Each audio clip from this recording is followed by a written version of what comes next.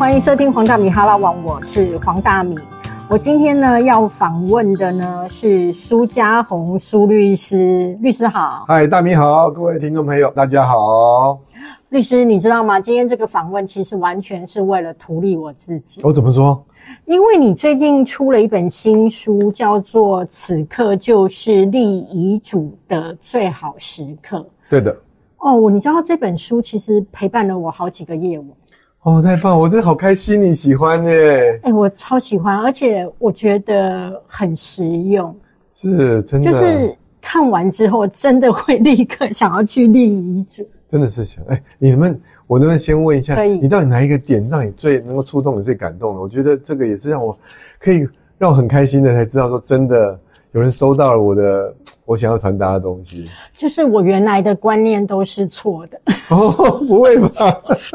不会吧？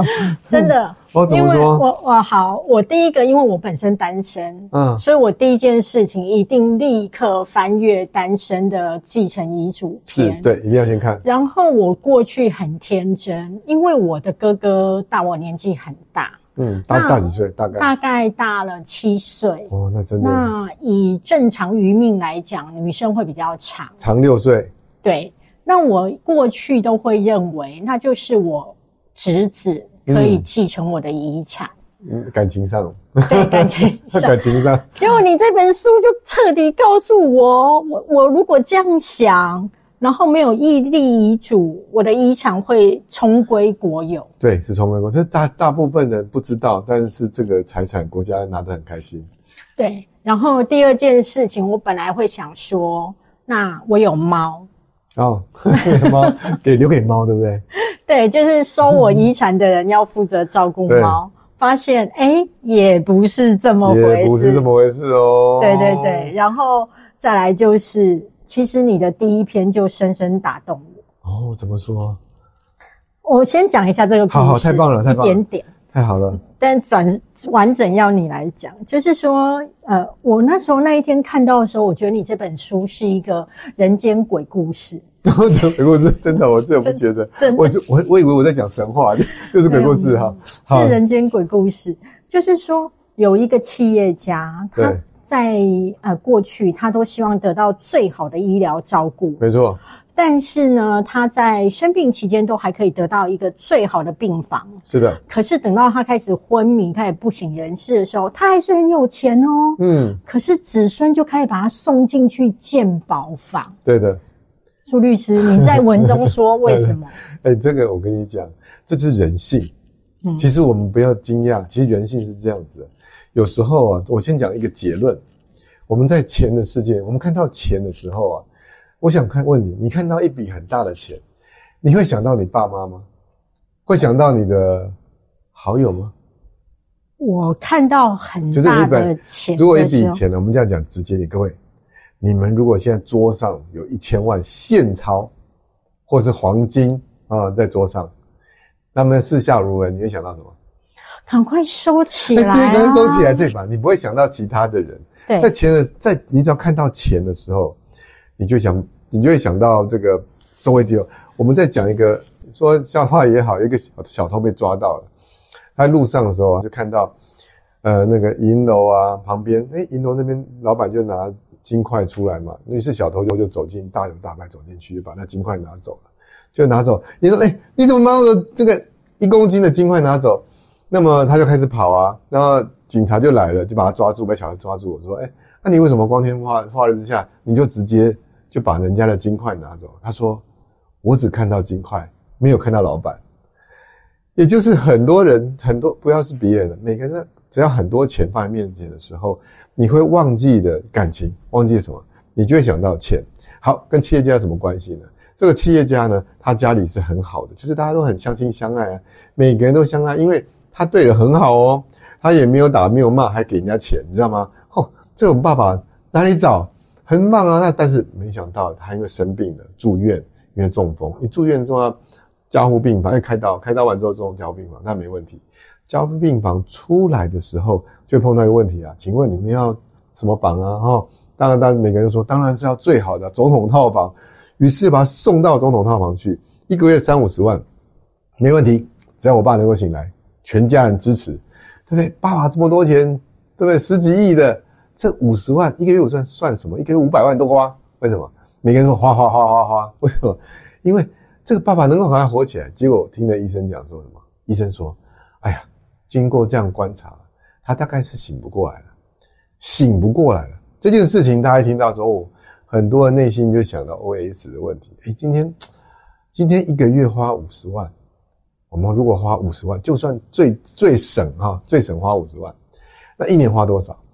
你在中风一年，如果说这样五十万，好，一年花多少？一一个月五十万，六百六百嘛，对不对？十年呢？六六千万，哇！现在我的爸爸没有感觉，没有知觉，没有反应，其实就是这样。那如果说今天他多花了六千万，那我们呢，少分了六千万，不过才六千万而已嘛。所以在钱的，在钱的，在人看到钱的时候，在钱的世界里面，哎呀，那这样我因为我爸爸等于是不在了一样，因为躺在的植物人等于是不在一样，所以你只有钱，你只有自己没有自己，所以这时候就讲，哎哎，不用啊，不用再不用再花五十万啊，就要什么？哎，不能花。只要有人反对花钱的时候，你想想看，你家都在吵架，家里很多人吵架，哎，吵架之后有人说不准花，谁敢花？要花我告你，你敢花吗？就会停下来。我干嘛？我干嘛要出头？我不要出头。所以接下来这个就到了鉴宝房。这是一个真实的故事，稍微有点改编，但是呢，它是真实的故事。我我听这个故事非常有感触，是在于呃。我的一个朋友，他也是富贵逼人，嗯，然后当他呃过去都是住最好的病房，可是等到有一天，他开始属于精神还是清楚，但是所有的身体是无法自主的。哦，对，没办法控制了，没办法控制自己身体的时候。对，然后后来有一天我再去看他。嗯，你要去想哦，我过去认识他的时候，他都非常有钱，包含对我这个后辈都非常的疼爱，给我最好的东西，招待我出去玩什么的，所以他财力是很 OK。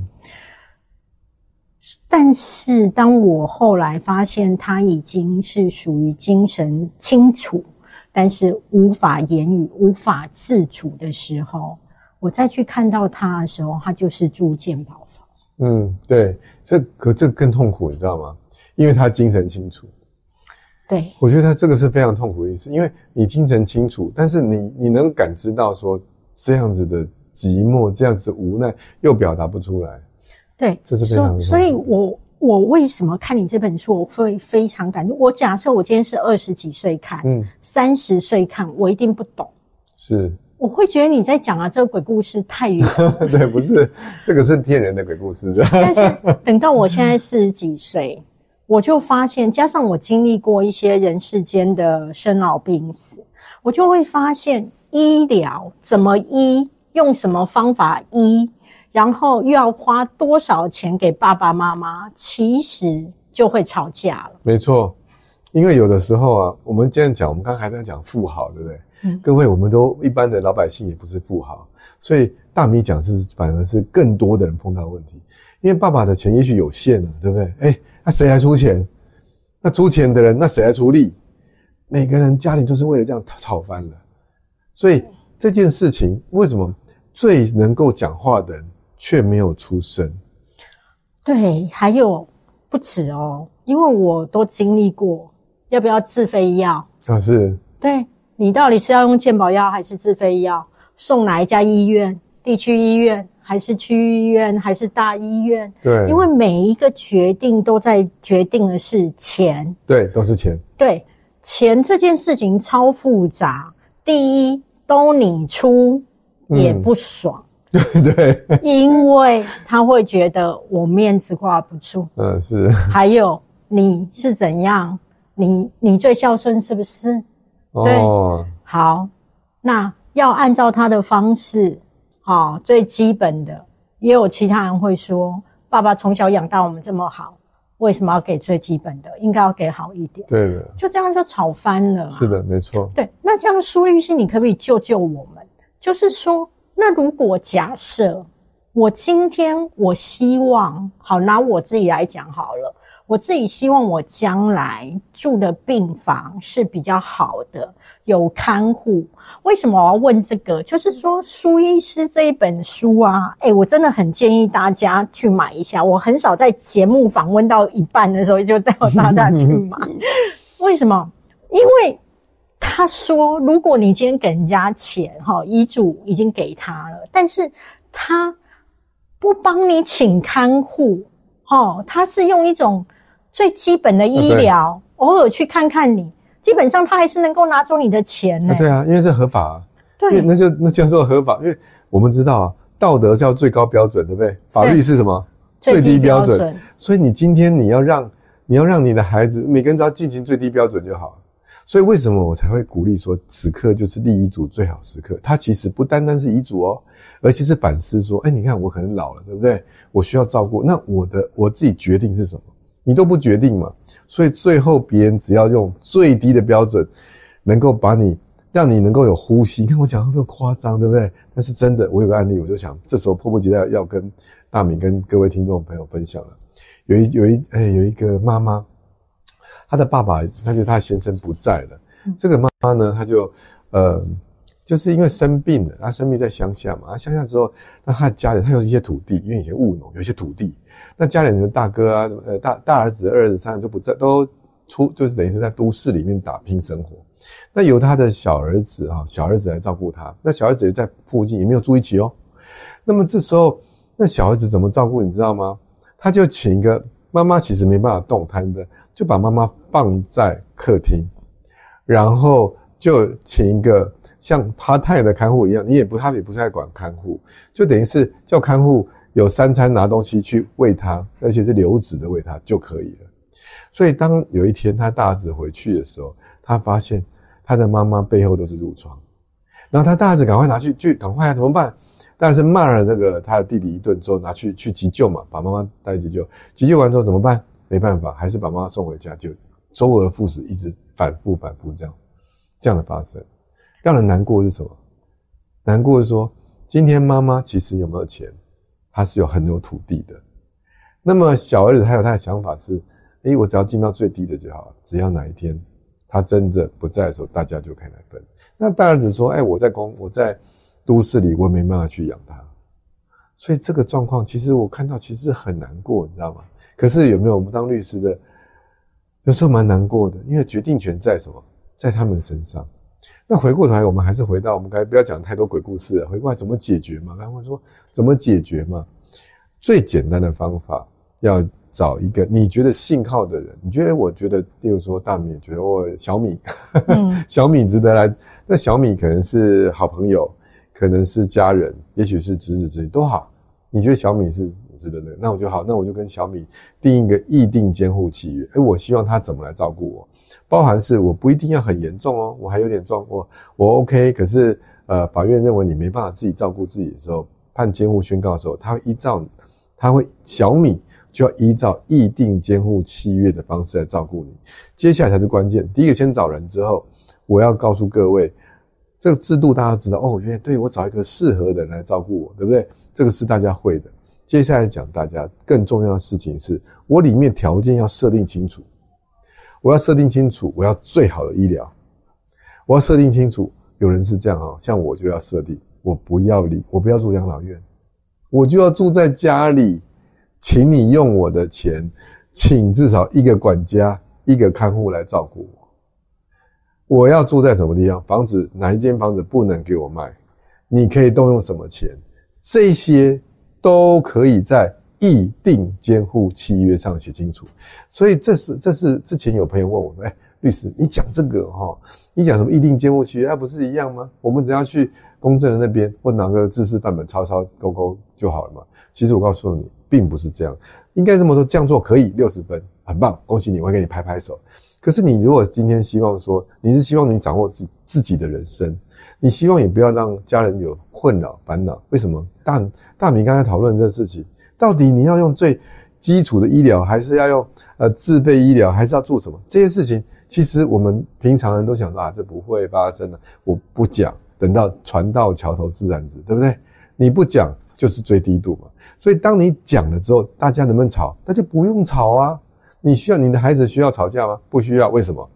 议定监护契约里面白纸写黑字，说我就是要在家里，我就是要住在最好医疗，或者我就是在什么状况下，我就是要怎么样怎么做。你可以用什么钱，不能用什么钱。这样情形下的话，至少我们已经在为自己建立一个法律制度。你知道，国有国法，家有家规啊。所以今天的家规跟你自己照顾自己的，你可以自己来设计的。这可以设计在议定监护契约上面。那你说，那如果他不遵守呢，就可以把它换掉，后面的人再照这个方式去处理。所以我等于说负责呃执行这个呃遗嘱的呃，比如说假设是律师好了，但是我如果指定 A 来帮我就是执行这一部分，比如说怎么照顾我，嗯，那假设 A 执行的不好。就换 B，对，所以等于我在写的时候，有经验的律师会告诉我说要有个顺序 A、B、C 这样吗？应该这么说，A、B、C 这件事情就要看你找不找得到人，因为我们从碰到实物里面，你能不能找到两个以上的人，还有时候有人不容易，知道吗？有的时候当然 A 你要跟他签约，一定监护契约是要签约的，可以签 A、B、C、D，有人可以一次签三四个，就是哎，什么意思呢？他这种呃这种方法可以这样做哈，第一个是圈顺位，第一个是呃第一个是大呃一个小米哈，中米中米和微米，对，奈米啊，分四个对不对？那可以说第一顺位，如果说小米不行，小米不行就中米，中米不行就微米，微米就奈米，所以可以这样顺序。那你可以排列说，那这样小米这个人呢，他心思细腻。他就在照顾我生活起居，所以日常生活照顾开支都由他全权决定。而投资部分，不好意思，小米不会，那就是什么？奈米比较厉害，他很会钻，奈米比较小，所以投资部分由奈米决定，所以它可以分开来的。所以如果你今天你可以排顺序，你也可以排什么？你可以排功能组别。所以你这样排的时候，接下来你就可以安排好。你哎就可以想象，那想象到未来，如果我今天真的没办法自己表达，或者就像意识清楚，我无法表达的时候，照着我还是照着我意思来做，那大家就没有话讲，用我的钱，我自己用的自在啊，对不对？可是律师，那我想请教，就是说，大家其实写遗嘱，大家都会觉得 OK，以目前的想法，对，但是要写一份它是可以执行的遗嘱。我必须要注意哪一些？还有，呃，假设今天的听众朋友他比较想要省钱，对的，然后他也不想要再找一个律师，嗯，是。那他有什么方法可以做？呃，免费的去立遗嘱又是合法的？那假设，呃，像比如说像我想要找律师的，那大概各自是怎么样的情况？好的。我们来讲哈，我们先讲免费的哈，这个免费一定要告诉大家，对，因为这我们立写这本书是个，我希望是个运动，因为呃，刚刚大美有问我说哈，为什么写这本书？因为我觉得其实我发现说这本书遗嘱这件事情，并它只是一个表象，它只是一个传承爱的感觉。其实之前是我妈妈，很多时候都不是在传承爱，它传承了纷争。哎，对，很多时间是因为我没有做，人不在的时候，因为人不在的时候。为什么会纷争？是，例如说我不在的时候，那我就是剩下钱嘛。那他因为他们也看不到我，我先把它去关，我已经拿去，我会烧，我我会因为是执账了，我应该会烧起来，好把它烧了，然后放在土里面之后呢，接下来我的孩子们继承，就只会看到钱怎么分嘛，对不对？对。所以这所以都是看到，就就和我刚刚比喻说，你还没头七就吵架，对，那吵架嘛，因为他看到钱，那那请问，那我的意见，我的意见有人听到吗？那很多人说开玩笑，律师。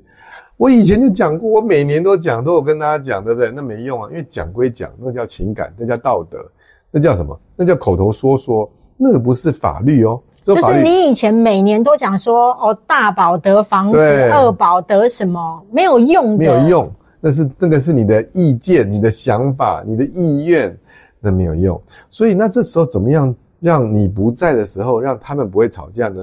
就是家规仍然在，这个家规负有法律的效力。也就是，如果我写一份遗嘱，合法有效的遗嘱，这时候我人不在的时候，这个遗嘱才有效哦。我人在的时候，我随时可以改遗嘱。嗯，所以遗嘱你要一个概念是，我今天写好遗嘱，我之后可以改，只要我活着，我健康，我意识正常，所以我随时可以改。那我最后一份的时候，那我我不在啦，所以我就这份遗嘱要执行，这时候就就是执行家规。真的，那一张纸是谁拿出来？你告诉我啊，这样子怎么谁拿出来？这又区分两种了，一个是说要省钱的方法，对，跟要花钱要有保障的方法，它是不一样的。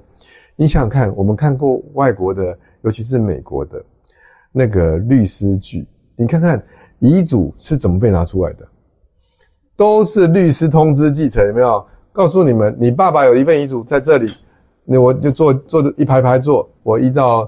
在某某州的法律告诉你，你爸爸写遗嘱在这，我告诉你这要怎么怎么做，我是帮他处理的，后续程序是怎么样，请大家安心，我来帮你爸爸处理，是不是这样？是，都是这样。但是我们是什么？我们不是这样，我们台湾没有这样的这种习惯跟制度，当然还没有在进步到这种程度。我我会，我们应该要这样朝向这样走。所以，如果今天你希望很。坚强的稳固保护的时候，就应该学习这样子，由律师事务所保管，保管之后事情发生之后，通知他们来。来，我告诉你，法律程序不用抢，因为你的爸爸或妈妈或你的兄弟姐妹不在的时候告诉我了，这个遗嘱就是这样。我们依照法律念给你听，也告诉你程序后续怎么样。那如果是律师当做遗嘱执行人的话，那我们会做什么呢？好，那你也不用担心报税，我们会依照法令来报税，报完税之后会告诉你们，然后。要配合手续来办理领这个相关的财产继承的财产，或帮这些人处理一些债务的问题，因为一定有债务嘛，一些人就会帮他处理这个事情。你们只要安心的在家里等通知，我们都会寄相关资料给你。这叫做完整保障，就学习美国这样的方法的那一套。那接下来说，那我要省钱的，那一定有省钱的，省钱的也很简单。我也希望省钱这件事情是当做你的第一步，每个人总是要第一次。哦，那第一次觉得够就好，因为家里一个怎么这样处理都很好啊。那你就你就要拿出一张纸，我教你最简单、免费的写遗嘱跟最后保管跟执行的好方法啊。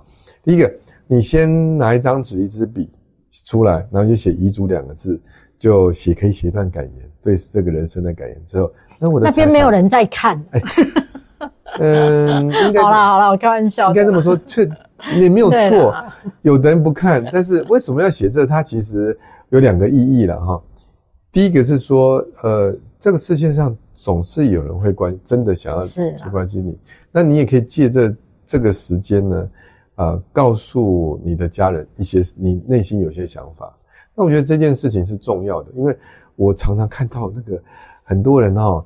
报纸，你还记得有的人这个写的遗嘱是这样哈？我所有财产给我的呃大儿子跟太太，谢谢再见啊，还没有写谢谢，就就直接签名，这样子的文字可不可以当遗嘱？有有某个某个金融集团的某个人，他有写过这样遗嘱，就上报，那他过世了拿出来，那这个有没有法律上效力？有，绝对有。但是对我来说，我觉得遗嘱这件事其实不单是写这个东西。反而是有些事情你可以在这边表描述出来，包含你的价值。像我的理念，我是很感谢上帝，所以上帝有照顾我，才有这一辈子啊。所以希望我的孩子也能够能够在上帝的路上，他也会保，上帝会保护你。对我来说，这很重要，这是我这一辈子最重要、最行得通的一件事情。我要告诉他。那那所以知道呃，爱的人可以会想要了解这个。那你说不爱的律师写这干嘛？我告诉你，这个重点在这个是你刚哦。这个会，你万一要解释契约文字、解释遗嘱内容的时候，上面那段话非常重要。最近这两天有个判决，不知道大家大家可能比较不会注意判决啊。我跟各位讲这个判决，这个判决是这样：有一个有一个家人哈，有一个有一个家他生了很多孩子，夫妻生了很多孩子，八个吧。那其中呢，因为他他没办法养，太这承负担太沉重了，于是把他第六个孩子出养给另外一个一对一对夫夫妻嘛。那他出养之后呢？本来他们都出养之后，通常以前的习惯都是不要让他知道，是吧？但最后他年纪大了，都已经知道说，哦，原来我生养我的是是哪一家，然后也那就要回去认亲嘛。那他也觉得，他那时候爸爸妈妈不得已啊，没有钱养你啊。于是乎，这个老六呢，跟着其他的姐姐其实很要好，都然后这几年来都非常要好。但他就写一份遗嘱，他就写说啊，如果我外出。意外身亡的话，我的财产给我某个某个干姐姐，因为她已经不是亲生姐姐，因为因为出养过去，那个家里也就她一个孩子，所以她是算单身的哦。那因为出养养父养母也过世嘛，她单身，那也没有兄弟姐妹啊。出养的时候跟本出生的家庭是断绝法律关系的，因为她要跟养家产生关系。她养家父母亲也不在了，我们来看她继承人啊，他记得他没有小孩，单身没有配偶，没有爸爸妈妈，养父养母死了，也没有兄弟姐妹，所以这财产是充公的。那他知道这个事情，他写一份遗嘱，他就写说：那我如果外出意外身故，这四个字。外出意外身故的时候，我愿意把我的财产都给我的某个圈圈圈姐姐。他是这样写的，他写的哇，那其实很感人，对不对？结果出现一个意外了，就最后他呢，他已经六十几岁，他在家里死死亡的，他家里是可能是疾疾病的关系哈过世了，那所以被人家发现了。那这时候那个法院就开始这个他们经过一个诉讼程序啊，当然那个干姐姐就是他的。这个亲应该算是姐姐了哈，姐姐她就跟想说，哎，这也是留着遗嘱啊，应该是给我，对不对？但是不好意思，最后法官竟然怎么判？他写，因为他上面写说他是外出意外身故，但是这个人是在家里病故，跟外出无关，无关。所以什么判决？才不能给那个姐姐。天哪！对，这个案子可以上诉。好，那你就回过头来，律师，阿姨讲这个跟那有关系。我们往往前言会。会我们在解释，当然，因为这个我没有看到他呃遗嘱的全部的内容，那我我在 F B 上有稍微做一些我的想法，但是我我我今天的目的是每个人如果能够好好写，就不要有走这一招，就算最后法院判赢了，那也是对不对？一一审、二审、三审，那为什么我们不会原来多了解一下哦，可以更顺畅？我的目的是这样。好，回过头来说，那如果这些在前言的写得很清楚，我就是希望不论如何。我的财产是要留给我的家人。那在做一些描述情形下，解释上他就不会有任何的问题，而不是条件。他那个不是说我在外出意外的时候，呃，是给我姐姐啊，我正自自然那个怎么样生过都给妹妹。他如果是这样，如如果是这样的话，那当然有道理啊，对不对？我有区分嘛。可是他有没有区分实意，就看前后文跟前言。所以这是我们有的律师。像我们做一个做律师做这么久，也常打这种契约的官司。我就说，那这前言是什么？双方为什么会这样缔结契约嘛？这个前言代表解释上的这个含义。好，所以所以说，哎，大米一问之后，我讲会太详细，大家 大家变律师。可是律师，我想跟你请教一下，因为其实都会很担心这一份遗嘱到底是不是真的啊？对。那现在手机这么流行。我拍个影片是可以辅助的吗？哦，对对，是可以的，就是它是辅助哦。大明讲到非常棒的字叫做辅助，这个辅助是这样，遗嘱它有效，是你从头到尾自己手写，对，签名写年月日，那这个就是年月日很重要，年月日很重要。有人真的没写年月日，哦，还真的写一大堆名校的，那没办法是救不回来的，甚至有人写老半天没有签名的。那个真的是更哦，你知道吗？为什么你的名字不写在上面呢？就是这上面通篇看不到有你的名字哦，那这很麻烦。所以从头到尾自己手写签名写年月日，它是一个非常重要事情。但当你写出来之后，有人会说：好，那这样怎么证明它是真的？哎，你再说开玩笑，我在我是证明我自己来证明它是真的。可是通这个遗嘱就是在我不在的时候，它才会发挥效力。所以当我不在的时候。这份遗嘱产生效益之后，谁能证明它存在？所以我们可以用一个方法，就说：哦，那我不想找律师，我也不要找公证人，我不要花任何钱，我要做一个免费有效的。好，请你拿出你的手机，就开始自拍，你就把你这个呃，你拿遗嘱在那个镜头前面，就可以把它念一遍。哎，我的遗嘱，我这个就是我自己亲笔手写遗嘱。那把这个录影把它留下来，跟遗嘱搭配在一起。那万一未来有人质疑这个遗嘱真正的时候，我们就把影片拿出来。这个就是可以辅助他说，对，就是我本人。那所以这个是最免费的。那你会说，那为什么很多人，呃，会找律师做见证、公证做公认证？因为如果今天我有不动产，你想看，我不动产要给另外一个人，是不是要透过地震机关的那个手续？地震机关拿到这遗嘱的时候，如果没有，他不会，他看到，哎，如果只有单纯只有遗嘱一份的时候，那他就说，那到底我要验笔迹？他会透过验笔机的程序确认它真正。可是如果有一份律师的见证书或公证人的公认证书的时候，他会觉得哦，对，有一份文件，法律的文件来证明后面的法律文件，这是这个人所亲自写的，所以地震机关就依照这个很快就办过户了。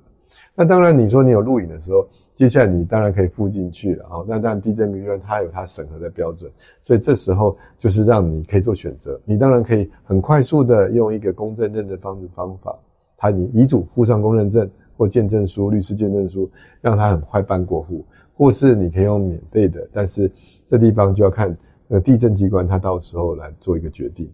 律师，那这样子的话，大家一定会很关心。假设我要找律师来帮我处理，那我们先来设定那个呃，假设他的遗产哈是一千万跟两千万。因为三千万以上可能又是高资产族群，又是比较少数。那我们普罗大众如果是遗产大概是在一千万、两千万，是那他整个来委托律师的话，他费用大概多少？哦，通常这个时候是个案认定的，因为其实虽然金额少，但未必事情处理的少，纠纷未必少，是这样。那我认为最简、最简单、最有效的方法是，你其实买我们这本书，或是你 FB 打书匠律师，你可以。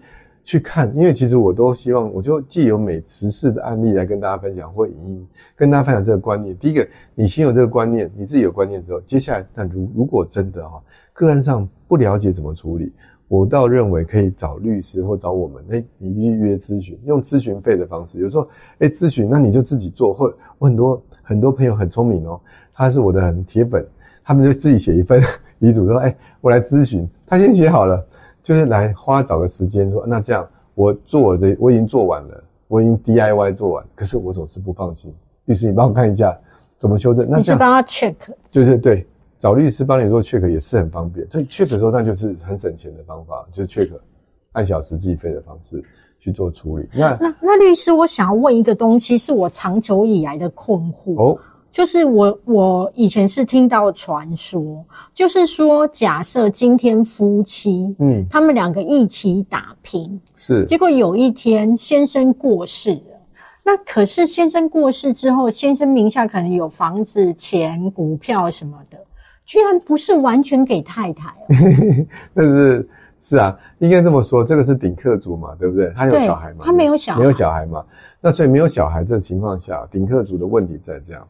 顶客族的时候，他们都呃，世界里就是只有彼此夫妻感情好的话啊，那没有小孩，那原则上应该活得比自己的父母还要久，是原则上嘛啊。对。那接下来要看呢，呃，人过世之后，他有继承，配偶是当然继承的，所以配偶一定可以分得到。接下来后面这个这一条更重要啦，配偶是当然继承以外，除了配偶以外，除了配偶以外，后面的家人。有依照顺序继承财产的权利？凭什么？凭什么？这个是我们夫妻俩打拼三十年、四十年，到最后我还要跟他的兄弟姐妹分啊？对，那凭什么？就凭他是他的兄弟姐妹啊？就因为凭什么？因为他就是凭一个法律。那你说凭什么？他凭说哈？你看呢？我们法律上的顺序是这样：除了配偶以外，第一顺序是子女嘛。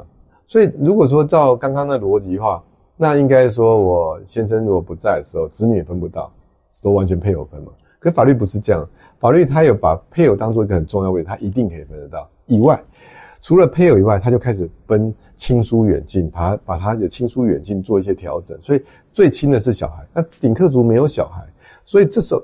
如果有小孩的时候，你看那是很合理啊，一定会被所以配偶没不会拿到全部，这件事情是法律的一个原则。所以各位配偶，请息怒哈，请息怒，快快那个，我看大米眼睛都一块喷出火花，请息怒。这因为反正他就是，你也知道吗？某些案件是公平，可是如果把同样事情换到另外案件又不公平了，你知道我有碰过那种，就是呃。呃，夫妻感感就是顶客族感情不好的，感情不好的，嗯，那个那个关系是这样，就是有一个太太，她因为她认识另外男生，她就跟她先生，呃，这次离婚了哈。那那我讲还要讲另外一个，就是夫妻之间，他如果感情不好的时候，他们他们各自过生活。那其实这个这个先生他就跟他的兄弟姐妹一起过生活，跟他跟他爸爸。突然，他这个先这个兄这个先生过世了。那过世之后，那兄弟姐妹想要办财遗产的时候，就发现说他跟这个大嫂根本没有办离婚手续，所以就必须要拜托这大嫂来什么签。那个大嫂不愿意签，放弃，他说不好意思，我是他的太太，我就要分一份。所以你说是不是这样？说那这样，所以你说放在哪个地方它是公平呢？最公平，我们不讲公平，讲温暖。怎么样最温暖？你要自己创造的温暖的环境。所以你先懂法律，我还是把它稍微把这个顶客族的关系讲清楚。我告诉你，为什么这本书这么重要？我们不是创造公平，我是创造家里有温暖。那这个温暖必须我们来决定那个温暖程度。我个人爱我太太，我们是顶客族。那我有兄弟姐妹，那这件事情，我虽然知道说有兄弟姐妹。他会继承我财产，那这样我希望给我太太这件事情，因为法律上有规定，他继承人兄弟姐妹会跟太太共同是共同继承，不过继承比例上是太太拿一半，兄弟长姐妹拿一半，那么就不管几个兄弟姐妹只能分到财产一半，这件事情是你没有写遗嘱的状况下是这样，但是你说那这样一半太多了，因为我名下财产一亿，我们先扣掉夫妻剩余财产的分配的，不管。如果今天有夫妻剩余财产分配，太太可以分的哈。那这个先不管，先说都扣完了，剩下一亿的遗产。这一亿你不写遗嘱，你太太是五千万，那兄弟姐妹是五千万。如果是五个兄弟姐妹，每个人拿一千万，哇，开玩笑，五千万我才不要给他。那你赶快写一份遗嘱，说我的遗我的遗产全部给我太太。这时候法律上，那你就说，那这样。那个都不给兄弟姐妹，这时候法律上有特留份，就是兄弟姐妹一定要保障他应该拿到的最少比例是本来可以拿到的三分之一。也就是说，这五千万里面呢，本来是不写遗嘱要给兄弟姐妹全部五千万，但是写遗嘱之后可以变给要给三分之一，也就是一千三百。啊，不对，五千除以三的话，就是一六一千六百六十六万六千六百六十六，对，就是一千六百六十六，所以差距差很多，对不对？第一个，你先写一份遗嘱，马上就减少了，马上就减少，他就只能拿到三分之一，应该拿到三分之一。那其实这样，如果今天感情没有这么糟，也够了。但如果今天感情真的很糟，那看看那个兄弟姐妹有没有对你对不起你的地方，例如说。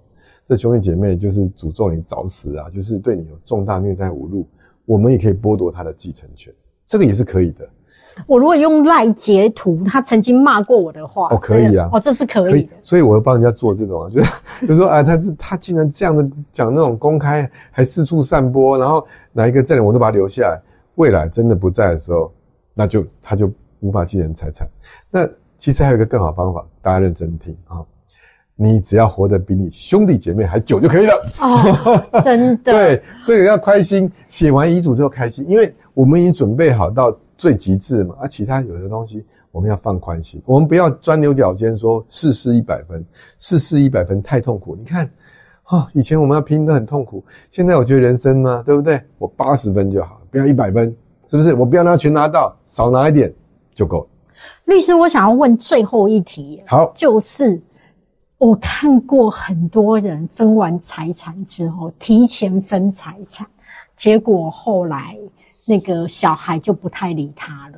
你你自己实物上面有看到过这么多情况吗？这个时候爸妈还拿得回来吗？哦，好，我跟你讲哈，实物上你把财产生前给的，通常 通常我会讲圈圈圈叉叉叉，那个下场不是不要讲下场，就是结果没有。跟你想象完全差很多，因为你要知道，这叫做嗯，在钱的世界里面，只有自己，没有自己人。你想想看，你把小孩当自己人，可是小孩有把你当自己人吗？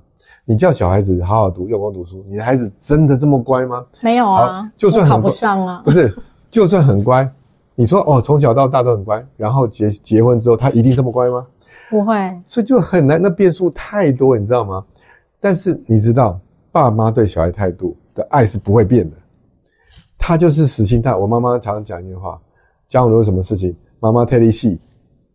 那什么，他生命在你，他是用生命在你，他宁可说保护你，不要任何出事出事，他保护你。可是小孩，你会为了你父母亲牺牲性命吗？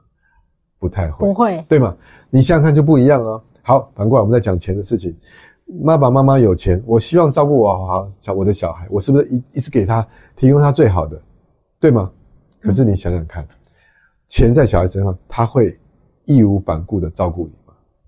呃，不一定。而且要看他当时的情况，他假设状况不好的时候，他会说：“我给你请假都没搞，我个怕官。”对，就连你给他五百万、一千万，他还说：“啊，不不搞，我开掉。”那你怎么办？所以这个，我只要讲这样的事情，你就知道有多少件这样子了。你难道真的？我不太当然，如果今天各位您做这事情，希望我帮你打官司，我真的很开心。但是呢，我更希望什么？你知道这样的道理，不要先给太，不要先给全部给或大部分给。